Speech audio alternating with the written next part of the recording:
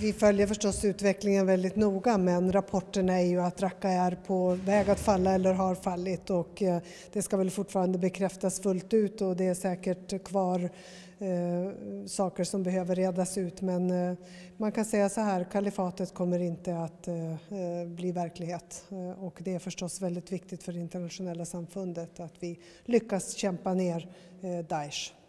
Hur stort är det egentligen?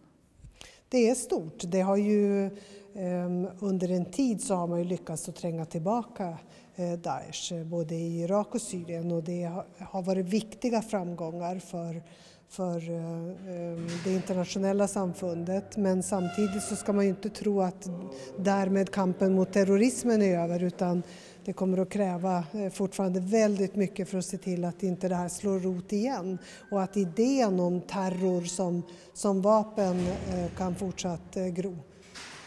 Du säger slå rot igen. Är det risk att man tränger bort IS från Raqqa och sen kommer de upp någon annanstans? Eller? Ja, det sker ju redan. Man, man söker efter nya baser och eh, nya öppningar. Så att eh, det här är ju också viktigt att, tänka på när ehm, vi bekämpar så att säga, grundorsakerna till, till terrorism och ehm, bekämpar våld och sekterism överallt där det sticker upp eh, sina fula huvuden. Raqqa var ju väldigt symboliskt viktigt. Det var förstås eh, huvudstad så att säga för, för, eh, för IS eller för Daesh.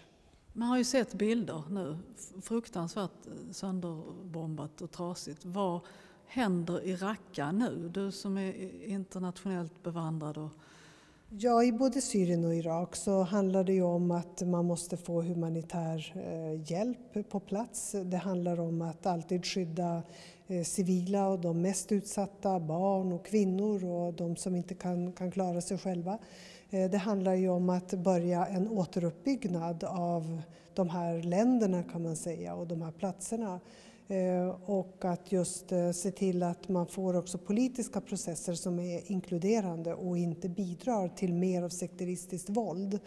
Eh, och det är också vad vi har insisterat på i EU-sammanhang när det gäller Irak och vi har lyckats att få fram ett beslut om en insats som ska hjälpa till att stärka till exempel säkerhetssektorn för att få fram civil polis och så vidare eh, i Irak. Och det är väldigt viktiga insatser, återuppbyggnadsinsatser, stabiliseringsinsatser. När det gäller IS-krigare som nu är på väg från Raqqa, en del av dem kommer från Sverige, hur påverkar det?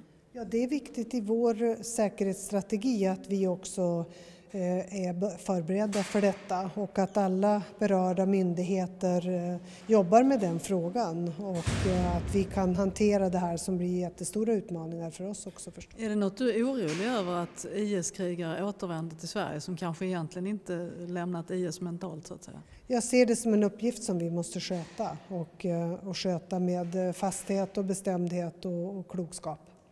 Det blir inte lätt. Nej, men det är sånt som vi måste ta oss an i det moderna samhället.